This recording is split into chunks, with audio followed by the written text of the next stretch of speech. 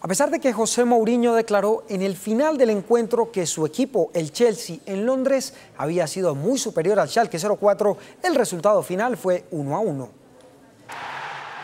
El Chelsea se encontró con un incómodo Schalke 04 y no pasó del empate en esta primera fecha de la Liga de Campeones. El primer tanto llegó a los 11 minutos por medio del exjugador del Barcelona, Cés Fábregas.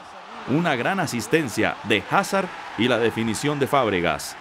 Ovación en Stamford Bridge, 1 por 0. Parecía que vendrían los goles para el Chelsea, sin embargo se paró bien el equipo alemán. En el segundo tiempo, al minuto 62, Fabregas perdió un balón y Julian Drasler recorrió medio campo con un contragolpe que culminó el holandés Klaas Huntelaar. Batió al belga Courtois y fue el 1 por 1 final. El Chelsea decepcionó ante su afición.